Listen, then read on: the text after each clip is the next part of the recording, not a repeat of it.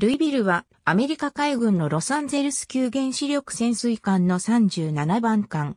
艦名はケンタッキー州ルイビルにちなんで命名された。その名を持つ艦としては、ノーザンプトン90巡洋艦3番艦以来4隻目。ルイビルは B99-10 アーシソナー用の試験台として運用される。同ソナーは既製のコンピューターコンポーネントが組み込まれ、モジュール化による容易な改良を行うことができる。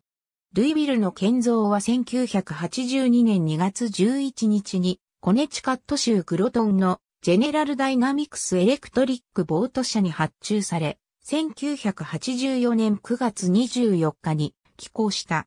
1985年12月14日に、キンケイド・マッキー夫人によって命名、進水し、1986年11月8日に、艦長チャールズ・イン・エリス大佐の指揮下就役した。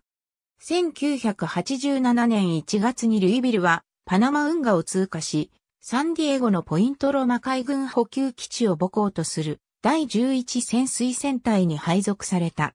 サンディエゴを拠点として、ルイビルは、スードの西太平洋配備を行った。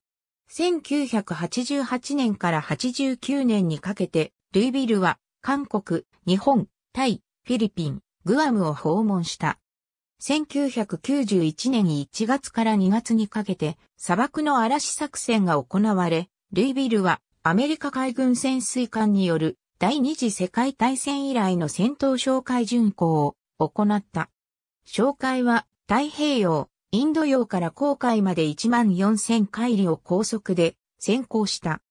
1月19日の正午直後にルイビルは砂漠の嵐作戦において最初のトマホーク巡航ミサイルをイラク国内の目標に向けて発射した。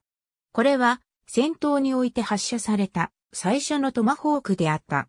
この紹介の功績でルイビルは海軍主訓部大賞を受賞した。